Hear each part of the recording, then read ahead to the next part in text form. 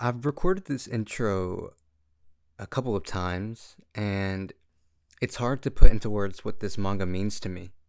Everything else I has already done, like I finished editing and uh, it's already recorded and everything. But I wanted to try this again. This manga is why I read manga. There's a whole bunch of other stories that impacted me more, but this manga was the first ever that introduced me into this delinquent genre and the feel good genre. Maybe I might not do it justice, and maybe nobody watches this video. But that doesn't bother me because I want to share all these stories with people.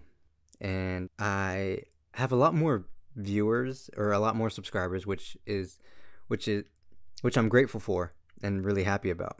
And I'll continue to make these type of videos even if they don't do good or well because I'm doing it to share for or to share them. And I wanted to say thank you.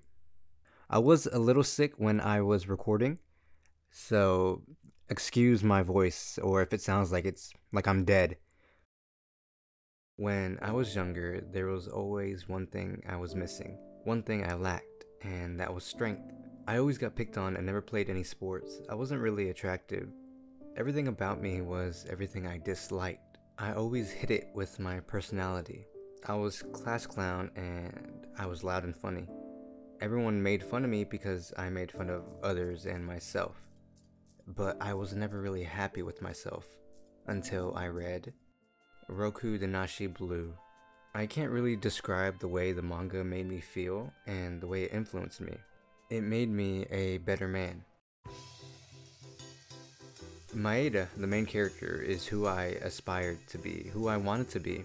He's the first ever non-anime character that I genuinely loved and cherished and the only way I can give you a glimpse of his character is by explaining the plot of one of my favorite arcs in the manga. I won't be reading it to you, I'll just be like narrating. It starts off with the teacher announcing a new student, and then all the girls go crazy over him once he's introduced. We find out his name is Sekichi. The teacher tells him to put his hands out of his pocket. We see that he has bandages all over him. However, Katsuji who's Maeda's friend, decides to put his leg in the way of Sekichi, basically. He wants to put his leg out in the hallway. And we see all the other guys have the same exact idea. Some of the guys start talking about him and realize that he may be a boxer. And Maeda starts to freak out and he starts putting two and two together. And he realizes that he forgot to apply for his license. Katsuji approaches Sekichi in the bathroom and that's all we see. We then see um we then see she oh man. I I wanted to let's take a little break. I want to apologize for any names I read wrong or mispronounce. So if pronouncing or if mispronouncing Japanese names or manga names is a like bad thing for you, then then you probably shouldn't watch this video. She's carrying batons for the relay race, and Sakichi bumps into her, causing her to drop one, but he helps he helps her out and picks it up and gives it to her.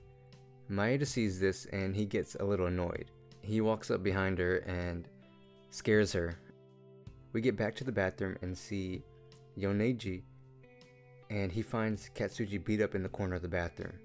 We then see Sekichi smoking and Maeda starts talking to him about how he saw all the cigarette butts that Sekichi smokes around Katsuji. Maeda starts to talk about how he notices that he's not injured and that his fists are wrapped because he's a boxer. He also mentions how he lost his license and how he got expelled. So he proceeds to grab his wrist and say, I wonder if you're good as they say. Maeda throws a punch while still holding onto his wrist, but Sekichi dodges it and lands a left hook and then throws another one Maeda throws a right but misses. And this is where we finally get to see Sekichi's stance. Maeda talks a bit more about him and he proceeds to knock Maeda out. We see Maeda walking barely able to stand up and we see a man run out to help him, but he falls instead. We find out this guy is Sekichi's doctor basically. I know people don't really know a lot about the delinquent genre. Most of them probably heard of it or saw it from Tokyo Revengers, which, which fits the genre, but the ending sucked. But this video isn't about that. It's about these teens growing up and fighting and becoming better every time they do. There's reasons behind each fight. Sure, sometimes they fight because they want to, but when it comes down to it, they fight for others and fight for what they believe in. And this manga captures that beautifully. And the art is beautiful, the jokes are actually funny and genuinely made me laugh. And the fights made me interested to the point where I got nervous on who would win.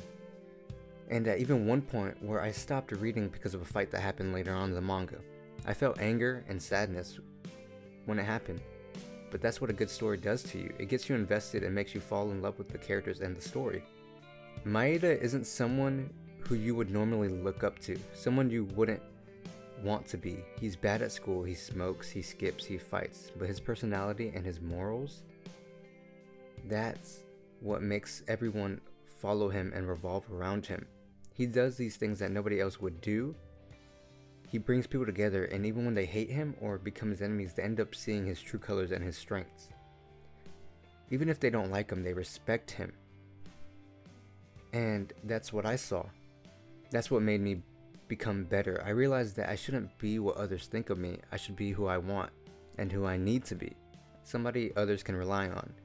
And I'm not, I know I'm not at that point yet, but I'm getting there, and that's the good thing. I'm now at a point where I don't care what others think about me or say about me.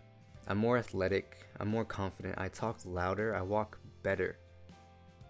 This manga introduced me into more of the delinquent genre of manga, and that's where I discovered a other amazing manga, even better than this one. But this will always be my first manga that changed the way I used to be. And it might be silly, but I don't I don't care. That's the whole point of reading manga and watching anime. Well, for me at least. I cried, I laughed, and I felt anger when I read this manga. And hopefully I can convince you to check it out. Thanks for watching. Subscribe, watch a previous video. I know you'll enjoy them. And yeah, thank you again.